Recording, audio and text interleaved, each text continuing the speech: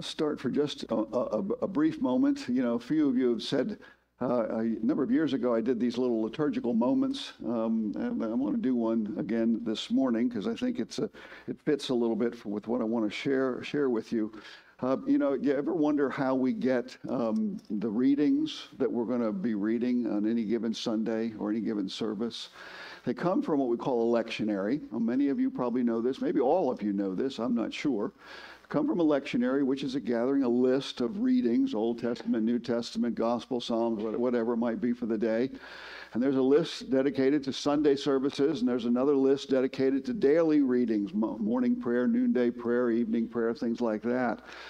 And so we, those are all set up through the calendar of the church year. Remember, the church year starts in Advent, which is four Sundays before Christmas, moves through Advent for, for those four Sundays, Christmas season, Epiphany season, Lent, Easter, and then we get to close out Easter season with, uh, uh, with uh, Pentecost, which we did two Sundays ago. Remember that?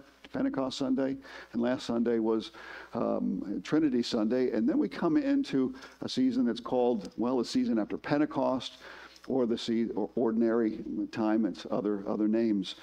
Colors change, things like that to help distinguish. Uh, but but we, uh, the, these lists of lectionaries uh, for the Sunday have a three year cycle.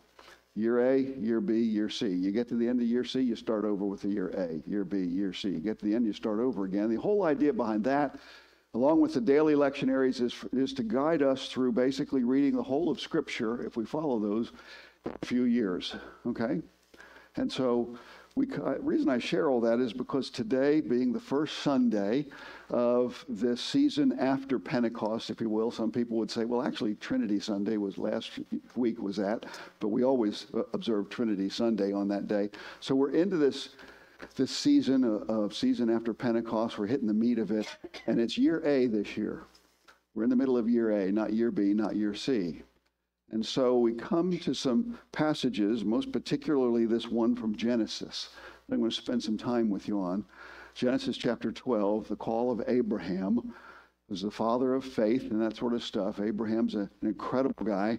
Um, and, and, so, and this season is a season where it's primarily, my understanding is, it's dedicated to growth growth for you, growth for me, growth for the church to grow, grow in Christ. And, and so um, it, it, recounts these, this, uh, these lectionaries recounts the salvation history by which we are helped in our discipleship. I don't know if that helps any with anybody how this comes. It might have been, okay, tell me that again, I'll take a nap. But anyhow, uh, that's one reason, one way we get to Genesis chapter 12. Again, two weeks ago was Pentecost. The Holy Spirit came on the church. Holy Spirit is, is the the, the way that an individual is saved because the very presence of God is placed within them, but also empowers them to live for Christ, to live for God, to do the things that God has called them to do. Without the Holy Spirit, we really can't live that life. And then again, as I mentioned last week, was, was Trinity Sunday, the, the truth about the triune Godhead. God the Father is the creator, God the Son is the, the, the sacrifice that pays your and my sin penalty. And then uh, obviously, God the Holy Spirit, our creed will say, we say it's quite often, the Lord, this, the giver of life. And so we're into this season of growth, and we'll take that all the way down until the end of, well, close to the end of November. With that in mind, maybe if some of you have heard this particular uh, phrase before, a statement, and I think it's worth pondering a little bit. Christianity is never more than one generation away from extinction. Have you thought about that? Christianity is never more than one generation away from extinction. If it could be that the church stopped talking about Jesus, stopped living by faith, Christianity would di- disappear. Unless by some sort of sovereign work of God, he were to present a Bible to somebody and they were to pick it up and read it and believe that believe what, what they read in it. But but less something like that, the church, Christianity, is always one generation from extinction. And it's only by faith, it's only by faith that it continues. Some of you may remember uh, in Luke chapter 18, Jesus is, is talking, and he said, And when the Son of Man comes, will he find faith on the earth? He says, Go read, go read the context. Luke chapter 18, in which he, he says that. Will he find? The obvious uh, implication is, is that it may be far fetched, but it's possible. It's possible. Okay. So, what does it mean to live by faith? What does it mean to have faith? You might say, Andy, we've heard this a lot of times, but I wonder. I wonder if we can't maybe hear it one more time hear a little bit more about it today. That's really when you think of the Genesis passage, the Romans passage, and even the gospel passage, faith is through all there, all, all over the place. The Romans passage that Paul wrote uh, there in Romans 4 expounds about how Abraham, uh, all about Abraham and living by faith. I don't know if you remember that. Look it up in your in your bulletin there. If you got your Bible with you, and see the position of faith plays there. The gospel reading, interesting gospel reading. We have Jesus calling Matthew, Matthew from his tax booth. Remember, he had a great job.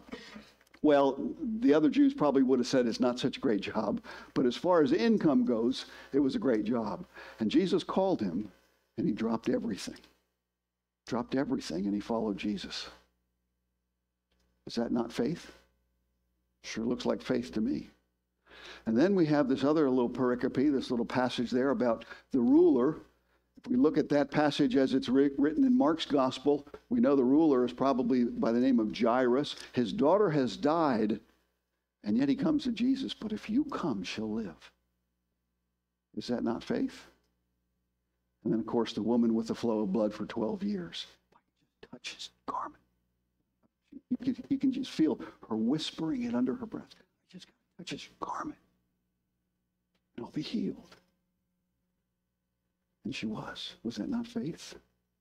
Faith. Look at all of those things called for a response from all from not only from Jesus but from others. But that gets me back into the Genesis passage. You know, there's so much I could say about this. I'll try to not uh, tell you uh, everything that I've read, uh, but at any rate, Genesis chapter 12 is the very first datable time in the book of Genesis. Okay? We roughly got an idea about when Abraham lived, Abram, and then became Abraham. Okay? But the first 11 verses, excuse me, the first 11 chapters is not really datable. We don't know. But that covered, if you're thinking about a, a young earth type, type of uh, um, worldview, the first 11 chapters covers over 2,000 years of world history. But when we get to Abram, things change. Things change pretty drastically. You, we could say, I think it'd be pretty easy to say, that besides Jesus, Abram, again later named Abraham, is the most important individual in the Bible. He's referenced all over the place. We just saw it in Romans and things like that. Abram, second most important person in the Bible. You know, even though Genesis chapters 1 through 11 cover over 2,000 years, the life of this man covers a little more than 13 chapters. Just this man until he dies. And if you include his son Isaac and then Isaac's son Jacob, it, it covers about 24 chapters. 24 chapters dedicated to this man and his, his offspring. Incredible when you think about it. Well, who was this guy, Abraham? Who was he, Abram? A couple things I can give you in the way of background about him. Um, we read from chapter 12. Now the Lord said to Abram, Go from your country and your kindred and your father's house and the land to the land that I will show you. It's interesting that Stephen, you remember who Stephen was back in Acts, the first Christian martyr that was stoned to death? He says something just a, a, a little bit different. It might fill in the picture. Let me put it say, fill in the picture just a little bit. Let me read you just a couple verses from his, his little talk. He's about ready to get stoned to death. And this is what he says. And Stephen said, Brothers and fathers, hear me. The God of glory appeared to our father Abraham when he was in Mesopotamia. Now, in case you're kind of fuzzy on your maps, Mesopotamia is roughly equal to about where Iraq is today, okay, roughly speaking. Was in, when he was in Mesopotamia, before he lived in Haran, and said to him, Go out from your land and from your kindred, and go into the land that I will show you. And then he went out from the land of the Chaldeans and lived in Haran. Okay. He was not in Haran yet. Land of the Chaldeans, again, Mesopotamia, that's kind of, again, roughly speaking, the day of Iraq today. So, according to Stephen, the inspired word, God called him while he was still in, again, Iraq, I'll say, Mesopotamia. We see a little bit, we go back to, to this Genesis passage, and just prior to it, let me read you these few verses. Now, these are the generations of Terah. Terah fathered Abram. So, this is Abram's father, okay? Terah fathered Abram, Nahor, and, and Haran. And Haran fathered Lot. Haran died in the presence of his father Terah in the land of his kindred in Ur of the Chaldeans. Now, Ur, hope this, you tracking with me a little bit? Don't go to sleep on me. Okay? Nobody, no, nobody heads, nobody head by Ur is a city down in south, southeast um, Iraq, a little bit, a little bit north from the Persian Gulf. That's the city. And so when Stephen talks about uh, uh, land of the Chaldeans, that's where Abram was. That's where he was when he got the first call. Let me continue. Haran died in the presence of his father, Terah, in the land of his kindred in Ur of the Chaldeans. And Abram and Nahor took wives. The name of Abram's wife was Sarai, and the name of Nahor's wife Milcah, the daughter of Haran, the father of Milcah and Isaac uh, and, and. Now Sarai was barren; she had no child. Terah, again, that's Abram, Abram's father. Terah took Abram, his son, and Lot, the son of Haran, his grandson, and Sarai, his daughter-in-law, his son Abram's wife, and they went forth together from Ur of the Chaldeans to go into the land of Canaan. But when they came to Haran, they settled there. And the days of Terah were 205 years, and Terah died in Haran. Haran, again, track with me. Think of your map. Put a, put a picture of your map. It would be nice if I could put a map up there, but I can't do that. Anyway, think of Syria today. Syria today, and up at the northern border of Syria, right where just about ready to, to go into Turkey today, that's where Haran is. It's not the land of Canaan. So you see what happened here? God called Abram when he was way back down here in Ur. He took his whole family, or Terah, the father, led the family. They went up and they established uh, this, this town, Haran, named after his deceased son, Terah's deceased son. And they stayed there for a while. And then God calls Abram again. After Terah dies, God sent, renews his call upon Abram, and that takes us into chapter 12. The Lord said to Abram, Go from your country and your kindred and your father's house to the land that I will show you. And I will make of you a great nation, and I will bless you and make your name great so that you will be you will be a blessing. You know, God said two things there. Well, actually, He said five things. He gave him two commands, two directives. But then He said, out of those two directives, three more things are going to happen. Three more things. First directive go from your country. Go. Go from your country and your kindred and your father's house to the land that I will show you. Where is he going to go? We don't know. He doesn't know. What would you do if God said, okay, Linda, I want you to get up. I want you to sell everything you got. I want you to, well, take your family and I'll, I'll tell you where to go, but just go. I don't know about you. I'd have trouble doing that. I'd have real trouble doing that. But that's what God said to him. To a land that I will show you. In a land that I will show you. Now, from this, now let me get to the second directive before I tell you the, the next part. Verse 2 reads, And I will make of you a great nation. I will bless you and make your name great. Listen to this, so that you will be a blessing. That's the second directive.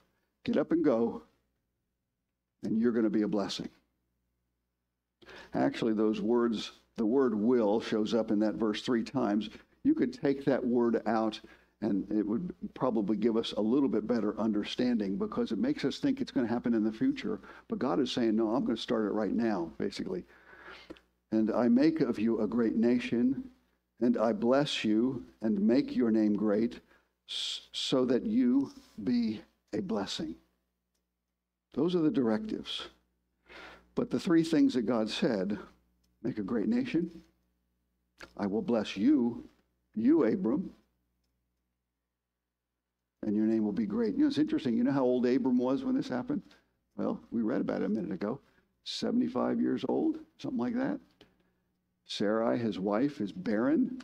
Do you think they've tried to have kids? Oh, yeah. They've tried to have kids. But he's barren. And God says, No, I'm, I'm going to make your name great. How is he going to do that? How in the world is he going to do that?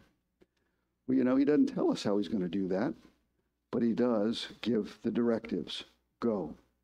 He's just told nothing else go to be a blessing. You will be a blessing. You know, the thought comes in my mind sometimes with the prevalence of Abram being referenced throughout the Old Testament and other places. I wonder how much Jesus paid attention to the life of Abram. I wonder how much Jesus learned from his obedience. You know, I could take you back and do a, a study uh, that he was probably, Abram was probably um, um, much into, to a significant degree, idolatry. I mean, think of later on. You remember the story of Leah and Rachel um, and how they were leaving uh, their home and they kind of snuck away, and Laban, their father, went chasing after him uh, because Jacob had carried him off. And they said, You stole my gods. You remember that story? Yeah, yeah. And they had. They had stolen the, well, I can't remember it was Leah or it was Rachel, it doesn't matter. But they'd taken some of these idols. Do you think that, that maybe that was still happening with Abram a, a little bit? I, I bet it was. He was basically from, because the very last chapter is all all about um, well, well, the Tower of Babel is the story there. Idolatry. God called Abram. But here's the catch. Not only did God call, but Abram did have to obey. He did.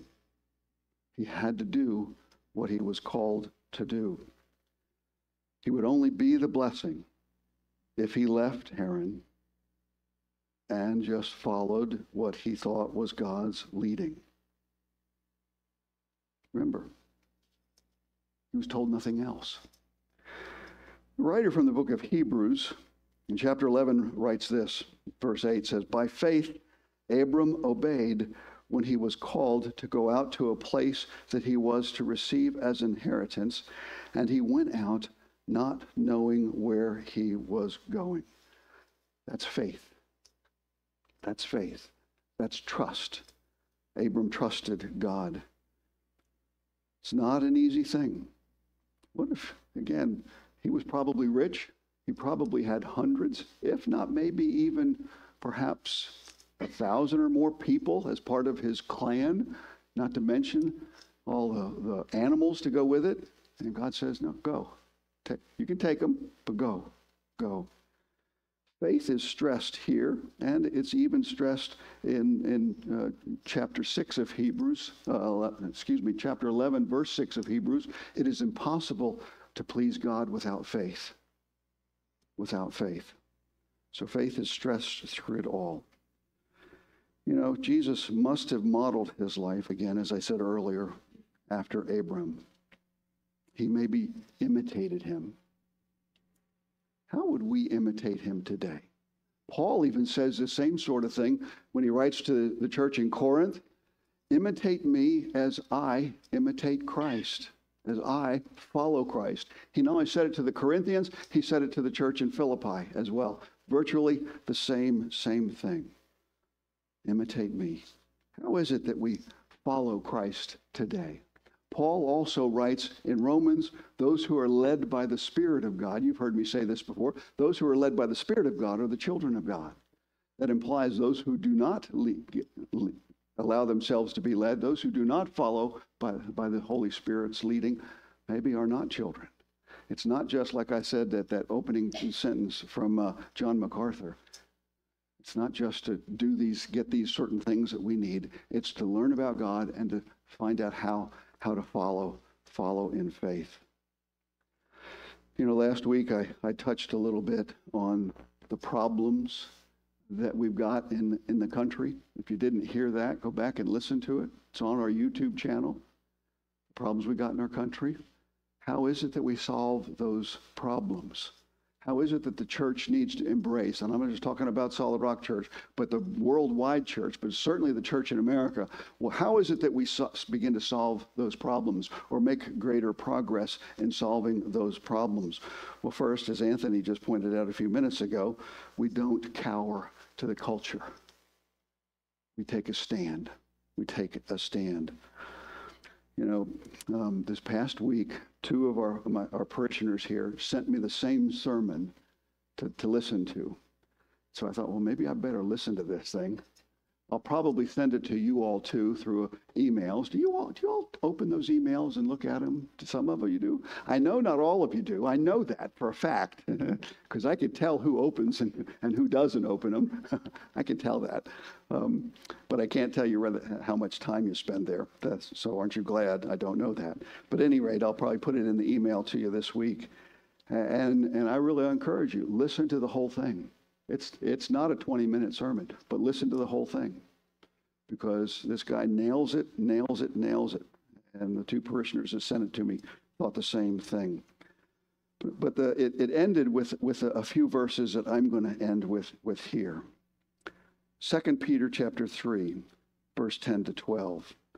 Let me flip over to that real quick. 2 Peter chapter 3, verses 10 to 12.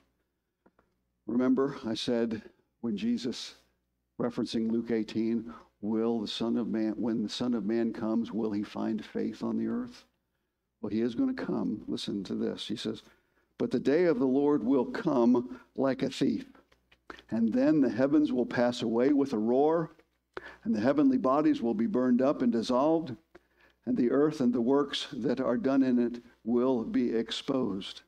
Since all these things are thus to be dissolved, what sort of people ought you to be in lives of holiness and godliness, waiting for and hastening the coming of the day of God, because of which the heavens will be set on fire and dissolved, and the heavenly bodies will melt as they burn?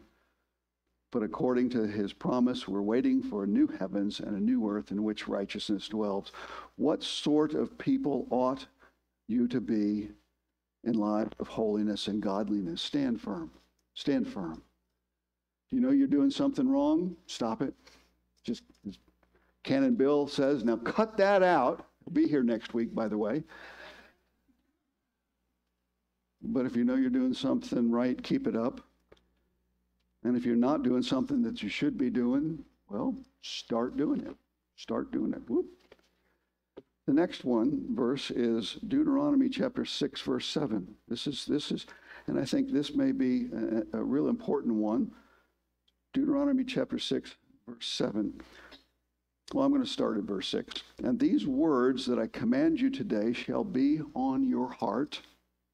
You shall teach them diligently to your children, and shall talk of them when you sit in your house and when you walk by the way, and when you lie down, and when you rise.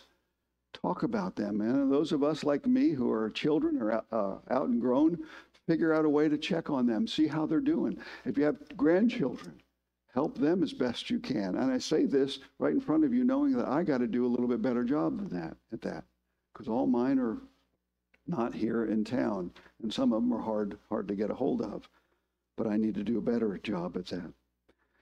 2 Timothy chapter 1 verse 12 reads this. 2 Timothy chapter 1 verse 12 reads this. Well, the whole paragraph starts at chapter at verse 8. I'm not going to go through that.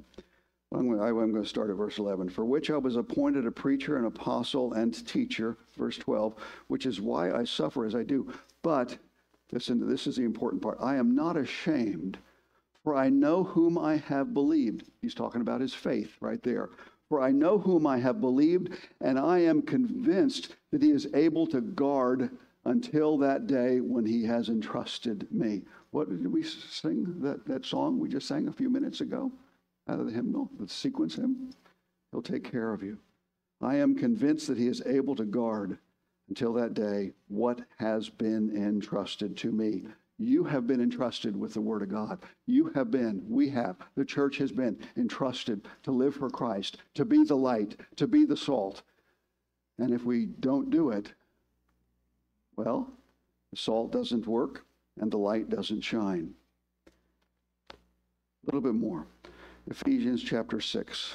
Again, you'll be familiar with this a little bit. It's about the armor of God.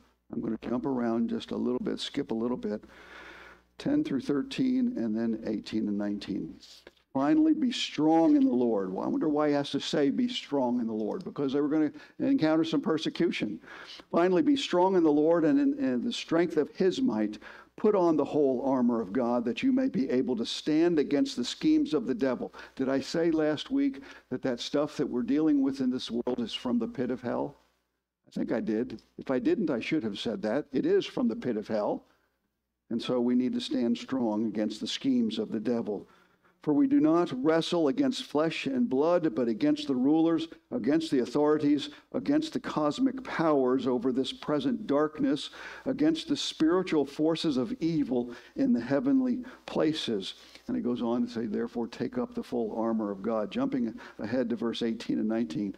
Praying at all times in the Spirit with all prayer and supplication to that end, keep alert with all perseverance, making supplication for all the saints. I'm going to go on to verse 20. And also for me, that words may be given to me in opening my mouth boldly to proclaim the mystery of the gospel, for which I am an ambassador in chains, that I may declare it boldly as I ought to speak. If that was good for Paul, do you think it might be good for us? Speak boldly in love and maybe, maybe God will have, have mercy on us. All this is about living by faith. It's about living by faith. And for us to grow in that faith in this, this season after, after Pentecost. Well, how do you do that? Well, I'm going to end with this one thing that you've heard me say. If you've heard it once, you've probably heard it a thousand times. Read this. Do you like my new big Bible? I bet you've noticed that. got a good deal on it, and it's got all kinds of study notes. But anyway, read it, read it, read it, read it, read it, read it, study it, ponder it, meditate on it, take your time, read it, because if you don't read it, you really can't know God. Yeah, He may give you an epiphany sometime, but this is how you get to know the living God, is this right here. You come to church every single Sunday and listen to me preacher, whoever's here, listen to sermons throughout the week, but you, but you don't spend time reading the scripture yourself. You're not going to have the strength that you need. You're not going to have the knowledge that you need to fight this present darkness that we're living in. You're not. And so you got to read, you got to study, you got to ponder it, you got to meditate on it. Just think about it. And so that may be the thing to, to, to, concentrate on for, well, for the rest of our lives. Not just this season, but for the rest of our lives. Ponder this. Study it. Because just as Abraham, Abram needed to obey God, we need to obey. And we can't obey if we don't know what he's telling us right here. Let's pray. Father God, the world, the world needs your message. And you have ordained that your message goes to the world through us, your church. Through those of us sitting right here, those of us maybe living, uh, looking on by video. You have ordained that. And so make us faithful, Father, just as you called Abram, probably a man with dealing with a lot of paganism, if not extreme paganism in his life, but yet you called him, you helped him to hear.